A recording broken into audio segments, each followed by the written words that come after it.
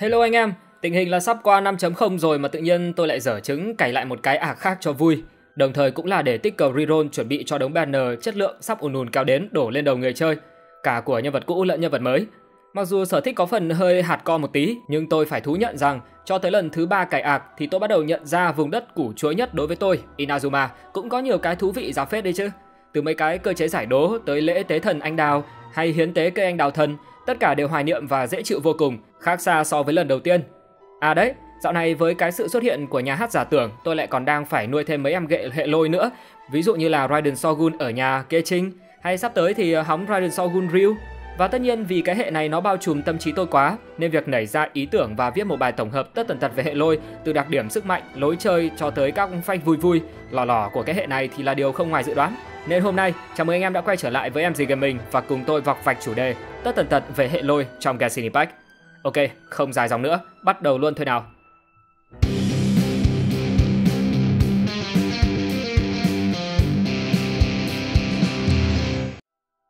Quá khứ kia của hệ lôi Đầu tiên chúng ta phải làm rõ với nhau rằng sức mạnh của hệ lôi trước phiên bản 3.0 không hẳn là yếu, nhưng có điều hệ nguyên tố này thời điểm đó tỏ ra khá đuối và kém đa dụng so với các nguyên tố khác, vì thế mà không được đứng đầu trong danh sách ưu tiên của player mà thôi. Bất cập đầu tiên mà hệ lôi sở hữu có lẽ là về chính lối chơi của nó. Như ta đã biết, trước phiên bản 3.0 thì cỏ trong Genshin Impact chỉ có một tác dụng duy nhất, đó là thiêu đốt mấy con dân mên hỏa, vì thế mà các loại phản ứng như tăng cường, sinh trưởng, bla bla cũng không hề tồn tại. Hệ lôi thời điểm đó chỉ áp dụng được có 3 phản ứng nguyên tố vào thực chiến, đó là siêu dẫn, quá tải và điện cảm. Siêu dẫn quá tải thì anh em biết rồi đấy, đam thì bé tí, lại tồn tại quá nhiều bất cập. Duy chỉ có phản ứng điện cảm thì tỏ ra hữu dụng hơn một chút trong chiến đấu. Nhưng nếu để đem ra so sánh với các loại phản ứng đam to tổ bố như là bốc hơi thì điện cảm cũng chỉ có nước sách dép.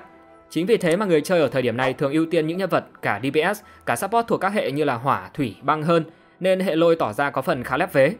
Một bằng chứng đanh thép củng cố cho ý kiến của tôi về sự thất thế của hệ lôi thời điểm này có lẽ phải kể đến việc phải rất rất lâu sau khi Genshin Impact ra mắt thì nhà phát hành mới tung ra nhân vật hệ lôi giới hạn 5 sao đầu tiên, cụ thể là lôi thần Raiden Shogun ở phiên bản 2.1. Mặc dù sức mạnh của lôi thần ở thời điểm đó là không thể bàn cãi, nhưng đó cũng chỉ đơn giản là do hào quang của nhân vật thần mà thôi. Lắm lúc tôi thầm nghĩ, hệ băng có Yula, Azaka, hỏa thì có Hu Tao, thậm chí phong lúc đó còn có Treo Venti, chứ nếu bỏ Raiden đi thì chắc mình kê trinh gánh không nổi cái hệ lôi này mất. À đấy, còn chưa kể như là vị thần của họ, một cục pin di động thì hiệu quả cộng hưởng lúc đó của hệ lôi cũng khá là lỏ khi tăng vào chỉ số nạp năng lượng nguyên tố của nhân vật. Nhưng vấn đề là ngay từ đầu game, nếu người ta muốn sạc nhanh thì cũng không thiếu cách. Việc gì mà phải nhất định cầm hai lôi. Chỉ cần build vui vui thêm một con support cùng hệ muốn sạc xong cho cầm tây phong rồi nhét vào trung tim là cũng dư giả năng lượng xài rồi. Nên hiệu quả này có thể không phế, nhưng lại quá nhiều cách để thay thế. Có thể nói rằng số phận của hệ lôi trong Genshin Impact thời điểm đó thực sự quá hẩm hiu và mọi chuyện có thể đã mãi tiếp diễn như vậy nếu như không có một bước ngoặt lớn xảy đến đối với hệ nguyên tố này, đó là sự ra mắt của hệ thảo. Thời thế thế thời, lên đời đổi vận. Phiên bản 3.0 của Genshin Impact thật sự là một phiên bản bùng nổ. Với những anh em nào mà đã đắm đuối cùng Genshin Impact từ những ngày xưa cũ thì tôi tin chắc rằng anh em sẽ hiểu cái cảm giác vỡ hòa của cộng đồng khi xem các clip drip marketing về thảo quốc Sumeru. Hệ thảo ra mắt kéo theo đó là một loạt phản ứng mới mẻ của hệ này gần như đã trở thành một cú hích trao đảo thiên địa với lối chơi của tựa game Genshin Impact. Trong đó hệ lôi chính là hệ trực tiếp bị thay đổi nhiều nhất, nhưng mà theo chiều hướng tích cực. Từ những phản ứng có cơ chế flat dam với hệ lôi như phản ứng tăng cường khiến cho ước mơ của bao nhiêu con dân men các cha hệ lôi đó là được đánh bạo kích sát thương phản ứng nguyên tố trở thành sự thật. Cho tới các phản ứng mới siêu mạnh mẽ, cụ thể là cái hạt thảo này. Dù không có crit được đi chăng nữa thì sát thương cũng rát hơn các phản ứng cũ, điện cảm, siêu dẫn, thiếu đốt rất nhiều.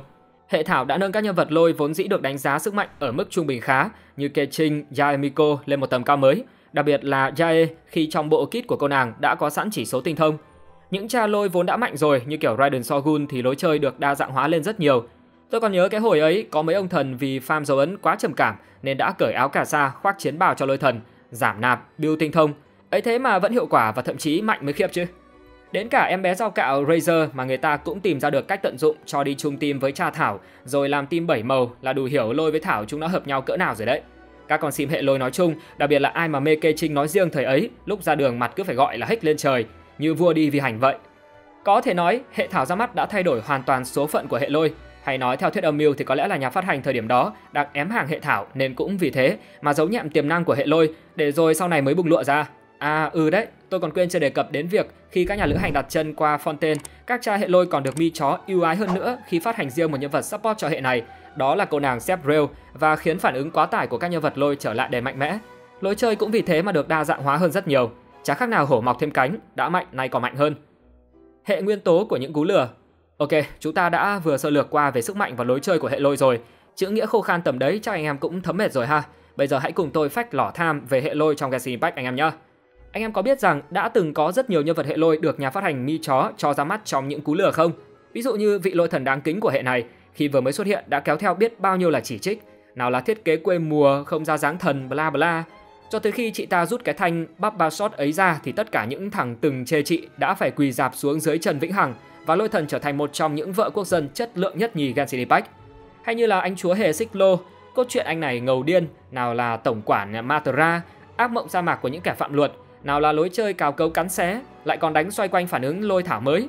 Ai cũng tưởng anh này rồi sẽ trở thành cán cân quyền lực mới trong meta La Hoàn của Genshin Impact, nhưng mà đời đâu ai lường được chữ ngờ.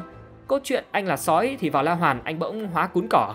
Nếu mà bảo sát thương của Sino yếu thì không đúng, nhưng để đạt được sát thương mắc tinh thì lối chơi của anh ta phải thật trơn tru, khó vận hành, khó combo. Thành ra tới hiện tại tất cả những gì người ta biết về Sino chỉ còn là chuyện cười mà thôi. Thằng mỏ hỗn Scaramouche cũng lừa không kém, khi mà các player thoáng nghe thấy thông tin nó playable thì đã khăng khăng khẳng định thằng này là hệ lôi, ngay cả ngoại hình của nó cũng không thể nào lôi hơn. Cho tới khi thằng bé ra mắt và nó là hệ phong. Một vụ việc tương tự cũng đã từng xảy ra với anh thám tử Hejo khi mà người chơi cắm đầu tin vào một cái fan art hệ lôi của anh chàng để rồi trưng hửng khi không có cú đấm sấm sét nào cả. Mami và các chú chó Có thể nhiều anh em không để ý, nhưng cũng có thể nhiều anh em đã biết rồi. Một điều khá thú vị về ngoại hình và những thứ liên quan của các cha hệ lôi đó là cứ hễ gái hệ lôi thì sẽ có cái vibe mami, còn nam hệ lôi thì liên quan đến chóa. Không tin á, cứ thử kiểm chứng đi là biết liền ấy mà. Nữ hệ lôi thì có lôi thần này, lại chả mami quá đi chứ còn gì. Hay cả cứng của nàng, tướng quân Kujo Sara. Ui giời, nhìn thế này thì ai mà không phải thốt lên mẹ ơi. Chị gái Lisa cũng thế, không hiểu kiểu gì mà nhìn bà chị này tôi không thể nào tập trung chơi game được, mà đầu chỉ toàn tiếng leo núi với Ara Ara thôi. Mới đây nhất thì có Chlorine, cô nàng thì không cần phải giải thích nhiều rồi đúng không anh em? Nhìn cái cúc áo là tự hiểu, sao mà em lại được gọi là mẹ liền. Nam hệ lôi thì khỏi nói, đứa nào đứa đấy chó rặt, từ bé dao cạo Razor được sói nuôi cho tới ông anh chúa hệ xích lô, lấy cảm hứng hình tượng từ vị thần Anubis đầu chó của Ai Cập. Sethos cũng thế, anh em hút cốt của Sino, dùng chung nguồn sức mạnh. Trong nhiệm vụ truyền thuyết ta cũng đã thấy anh này gồng móng sói lên để đánh nhau rồi, mà tôi phải công nhận cái hệ này nó ít nam ác. Game gần 4 năm rồi mà hệ lôi được có ba mống đàn ông lọt giữa bầy gái, chả hiểu kiểu gì. À đây, cho những ai còn thắc mắc tại sao hệ lôi có con bé Loli Dory rồi mà tôi còn kêu là hệ này toàn mami thì anh em cứ thử mở voice của con nhỏ lên mà nghe thử xem, đặc biệt là tiếng Nhật ấy, à, xem nó có the thé the thé giống mẹ bạn lúc phát hiện ra bạn chùm chăn chơi điện thoại giữa đêm không là đủ hiểu ấy mà. Tiếp tục là phách lỏ, phách lỏ cực mạnh. Tiếp theo hãy cùng tôi điểm qua thêm các phách về hệ lôi, lôi quốc Inazuma và những thứ liên quan tới cái hệ nguyên tố này trên bản đồ nhé.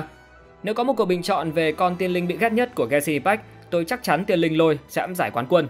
Bởi vì cái con quỷ này nó bay nhanh, khó theo dõi, khó đoán và dễ mất dấu kinh khủng, chứ không dưỡng sinh như là đám tinh linh khác. Nếu các vị thần khác như Zhongli, Venti, Nahida tìm cách làm bạn với các sinh vật nguyên tố có nguy cơ đe dọa tới quốc gia trước khi dùng vũ lực lên chúng, thì lôi thần Raiden Shogun chọn cách cục xúc hơn, đó là vác kiếm lên và chém hết mọi thứ cả gan đe dọa vĩnh hằng. Quả không hổ danh là một võ tướng mà. Có lẽ cũng vì quá chiến trong cốt truyện nên tính tới thời điểm hiện tại, Raiden Shogun là nhân vật thần duy nhất sở hữu gameplay yêu cầu đứng sân. Các vị thần khác thì đa phần toàn xả chiêu vài giây rồi lui về cánh gà cho đồng đội thể hiện. Chắc đó cũng là lý do vị lôi thần của chúng ta đang dần có dấu hiệu chậm chân lại trong meta, trong khi đáng ra theo lời nguyền kể đến sau, Zhongli phải là người xuống sức trước thần bánh ngọt. Mà thật ra lôi thần build thuần tinh thông chơi kích hạt hay là nửa tinh thông chơi carry thì cũng chỉ là một lối chơi biến tấu để tận dụng cô nàng thôi, chứ không phải là mạnh mẽ bùng nổ hay là khai phá tiềm năng kinh hoàng gì đâu. Có thể anh em đã quên, nhưng Apple từng có một pha quảng cáo không thể thuyết phục hơn về hiệu năng thiết bị với Genshin Impact khi đem bốn nhân vật hệ lôi đi đấm nhau với con boss thực thể sấm sét. Test xong hệ lôi Genshin thì họ sờ gáy tới hệ lôi Honkai Star Rail, cụ thể là quảng cáo với ulti của ngài Jincha. Inazuma là quốc gia đầu tiên mà người chơi được giới thiệu cơ chế đổi ấn nguyên tố lấy các vật phẩm có giá trị qua cây anh đào thần. Trước đó thì ấn nguyên tố chỉ có tác dụng đổi mora hay phôi vũ khí trong shop vật báu của các quốc gia. Ở Inazuma, cụ thể là đảo Yashiori, có một dòng sông bị nhiễm nguyên tố lôi đậm đặc mà không có cách nào thanh tẩy. Đây chính là tác phẩm của con báo Raiden Shogun khi chạm con rắn của đảo Watasumi. Nhân vật này không thể nấu ăn. Dù AI đã xác nhận với người chơi rằng việc ban phát Vision không hề liên quan gì tới các vị thần nguyên tố mà do trực tiếp thiên không đảo ban ra, nhưng mà khi Inazuma phát lệnh truy nã Vision thì đó cũng là lúc mà Vision lôi không còn được ban ra nữa. Điều này liệu có liên quan tới lý trưởng mà các vị thần đang bảo vệ chăng? Nếu bạn cố tình xây cầu qua Inazuma mà không thèm làm nhiệm vụ ma thần, bạn sẽ bị xét đánh. Vào lần đầu bạn bị xét đánh, bạn sẽ nhận được thành tựu sự thịnh nộ của thần. Ý gì đây hả lôi thần ơi? Người huynh đệ mà Kazuha hiến tế cho Vision Phong đã lấy Vision lôi ra để thách đấu với lôi thần. Đùa chứ, biết là trí trai cuột cường ai cũng có ước mơ, nhưng mà việc đem sức mạnh của thực thể sấm sét tối cao ra để thách đấu với chính cô ta có khác nào thách nhà giàu hút tương không cơ chứ? Cây anh đào thần của Inazuma có một lai lịch không hề đơn giản. Nó đã được Makoto lôi thần đời trước và cũng là chị của Ei trồng xuống quá khứ từ tương lai qua sự giao dịch với nữ thần thời gian. Hiểu đơn giản là người dân của Inazuma thì cứ ngỡ rằng anh đào thần tự dưng xuất hiện, nhưng nó đã được gieo mầm vào đất của đền Narukami, nhưng thời điểm là hàng trăm năm sau. Có lẽ với nhiều newbie Genshin Impact, cái thằng quỷ pha tui lôi này chính là một trong những cơn ác mộng kinh hoàng nhất. Tại đầu game chưa có đam mà để nó bật giáp thì chỉ có nước ôm mặt khóc mà về gọi mẹ thôi chứ còn đánh đấm gì tầm này nữa. Vẫn là pha tui, anh em có biết thuật sĩ Si Xin Lôi, mấy cái chị gái đẹp chơi ruồi này này, đã cấy bùa chú nuôi dưỡng Si Xin vào người, bằng chứng là mấy vết sẹo sau lưng bọn họ để có thể huấn luyện được đám ruồi điện này không?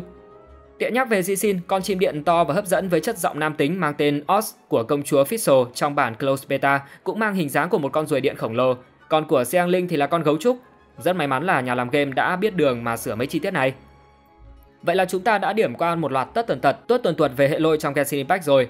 Phải công nhận là cái hệ này dù dòng đời có phần khá thăng trầm, nhưng tới cuối cùng lại là kẻ chiến thắng và bước lên đỉnh cao xã hội của Genshin Impact. Còn anh em thì sao? Anh em có thích cái video này không? Hay là cảm thấy MC Gaming cần bổ sung chỗ nào? Anh em muốn tôi làm về hệ nguyên tố nào tiếp theo đây? Hãy để lại tất cả ở dưới phần bình luận nha. Hôm nay đến đây thôi. MC Gaming xin chào.